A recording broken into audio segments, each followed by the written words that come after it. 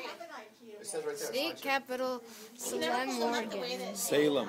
Did you do this report of what? What, what software are you doing the report? Bordering states. And uh, right there. California, Idaho, Nevada, and Washington.